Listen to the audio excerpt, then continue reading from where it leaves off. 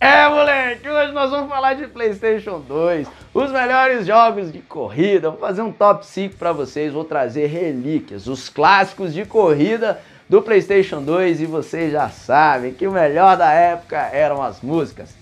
Mas infelizmente não posso colocar elas aqui, mas os jogos estão aí, vamos lá relembrar esses cinco clássicos de PS2 aqui que fizeram história e são os melhores jogos de corrida de todos os tempos. Se você não concorda, já sabe, deixa aí nos comentários e bora pro vídeo que tá barra pesada, hoje tá barra.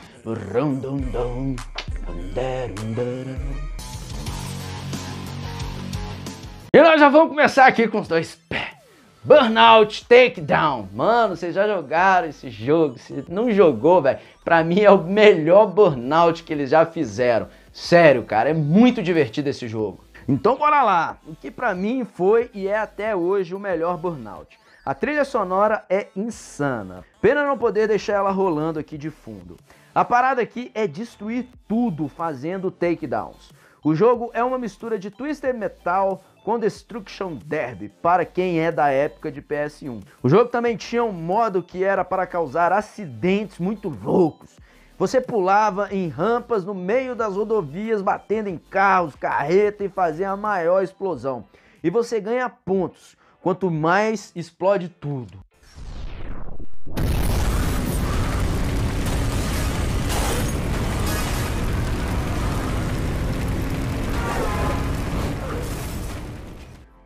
É sério, irmãos, tinha um modo de jogo ali que tinha uma rampa na hora que você começava o jogo, e tinha uma rampa ali no final. Aí você vai e sobe nessa rampa, irmão. Você voa por cima do viaduto e cai, velho. Na hora que você cai, você arruma aquela confusão, você cai no meio de um monte de caminhão, explode tudo e vai aquele negócio e vai dando ponto. E quanto mais você explode as coisas, quanto mais takedown você fala, nossa, só que esse não é takedown, fala. Agora eu esqueci como é que fala. Quanto mais confusão você causa ali, um burnout, né? Velho, é divertido demais. Eu reunia a galera ali pra você disputar quem fazia mais confusão nesse jogo. É, esse jogo é doido demais. Fala aí nos comentários se você já jogou, que eu quero saber.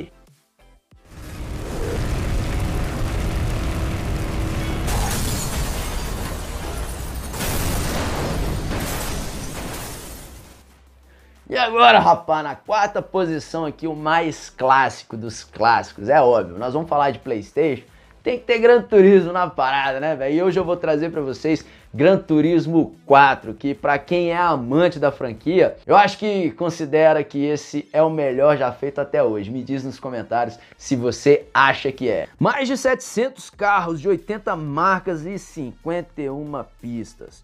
No game temos 7 modos de jogo o que é bem mais que seus antecessores. Estou falando, é claro, de Gran Turismo 4. Gran Turismo é reconhecido pelo seu realismo e simulação perfeitas. Fato que em GT4 revolucionou a era.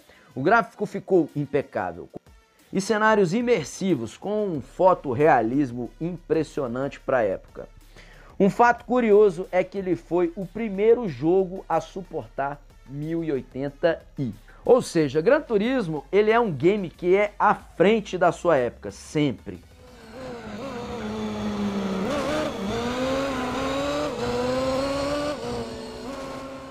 Cara, Gran Turismo, para quem é amante de automobilismo, cara, não tem igual, tá? Não tem igual. Ele é um jogo mais completo que tem. Ele foi o primeiro jogo a trazer tantas marcas licenciadas para a franquia. Sim, cara, ele é revolucionário desde lá de Gran Turismo 1. Se você curte assim um realismo, uma simulação de fato, você tira a carteira no modo carreira, né? Você tira a carteira e você vai começando com os carros mais básicos, até você chegar naqueles carros top de linha, carros de fórmula. E, cara, se você pegar ali Gran Turismo para você jogar todos os dias ali umas 4, 5 horas ali, eu acredito que demora um ano para você platinar esse jogo. Esse jogo é quase que infinito. Eu amo Gran Turismo.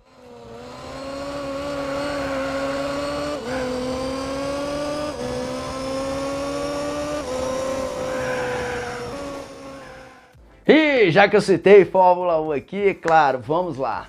Fórmula 1 2001 para PlayStation 2, cara, esse jogo me fez, fez eu me sentir ser um piloto da Ferrari, irmão. Esse jogo é surreal. a EA Games brilhou nesse jogo. Ele nos traz um equilíbrio entre simulação real e arcade, colocando acessível, ou seja, não é aquela dificuldade absurda do gênero.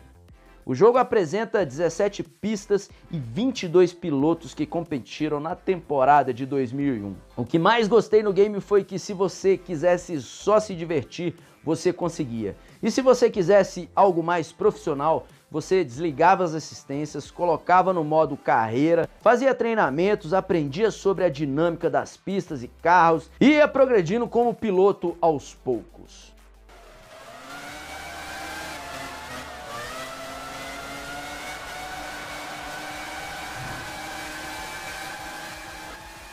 Galera, é sério, irmão. Fórmula 1 2001, a EA Games, ela brilhou demais nesse jogo.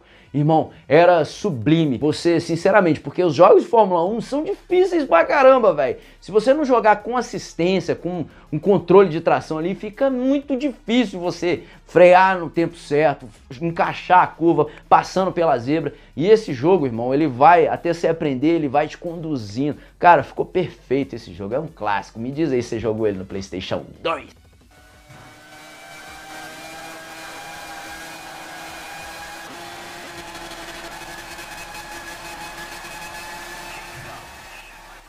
Ah, rapaz, esse aqui agora, eu tenho certeza que vocês têm muita saudade dessa franquia, porque a Rockstar, cara, tem muito tempo que ela não faz, ela não traz um pra nova geração aqui pra gente relembrar. Eu tô falando é de Midnight Club 3 Dub Edition.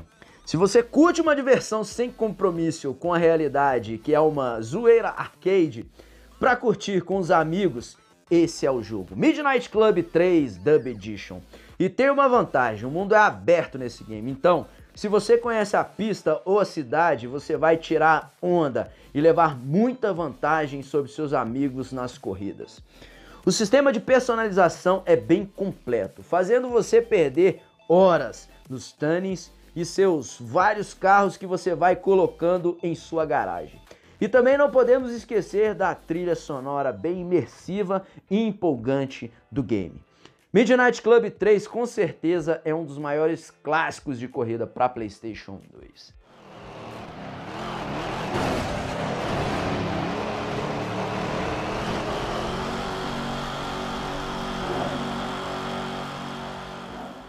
E diz aí, cara, se você curtiu esse jogo na época, se você, na época que ele saiu ali, cara, raizão demais, mundo aberto para você explorar a sua maneira, é uma zoeira danada, as músicas são muito divertidas. E rapaz, me diz aí se você não ficava colecionando carro e ficava só na garagem ali fazendo stunning rebaixando o carro, colocando rodão, neon, som. É, cara, até o som você colocava, personalizava nesse jogo, até o velocímetro, velho. Esse jogo é completaço, é surreal, é gostoso demais esse jogo.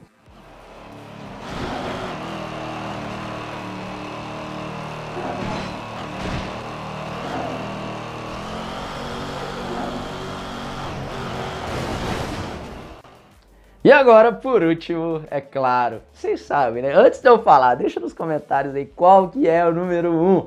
Só que me diz aí, vocês acham que é o 1 um ou 2? Ah, moleque, matou a charada. Eu tô falando de Need for Speed Underground, o 1, o raiz, o primeirão. Nossa, mano, que saudade desse jogo. Esse jogo é...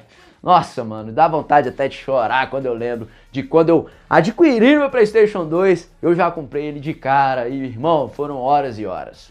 A minha escolha foi o 1. Eu gosto muito do 2. Mas o que marcou uma virada incrível na franquia foi Underground 1. O filme Velozes e Furiosos fazia muito sucesso, o que causou um frenesi em nós, players amantes do estilo. O tema de corridas underground não era uma novidade, mas a forma que a EA fez foi surreal.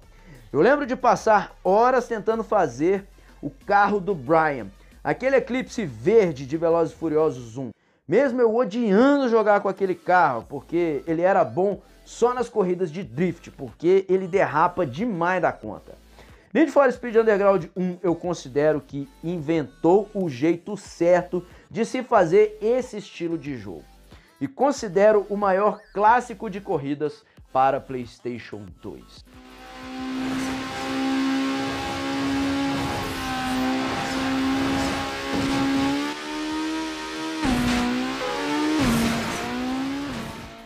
Me diz aí se você concorda com o tiozão. Need for Speed Underground 1 pra mim é o melhor que já passou por essa terra. Eu sei que o Need Underground 2 ele é mais aprimorado, você pode curtir mais a cidade, você pode. Tem mais tuning dos carros, tem mais tudo, né, velho? Ele é completo. Ele é o aprimoramento de Need for Speed Underground 1.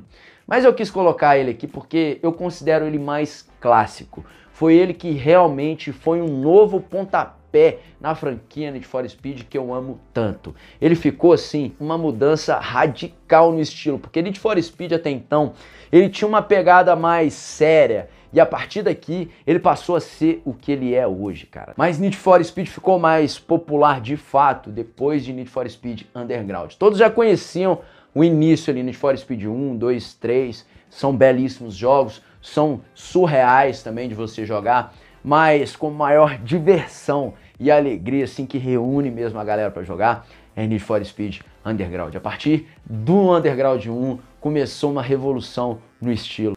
E ele é meu escolhido para estar tá em primeiro colocado nessa super lista.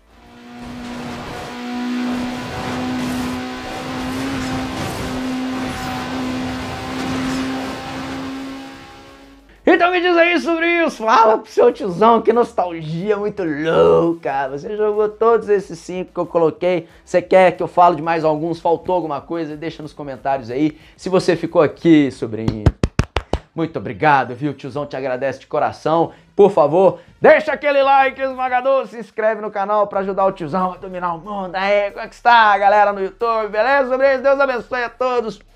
Um beijo no coração de cada um de vocês. Até a próxima. Valeu!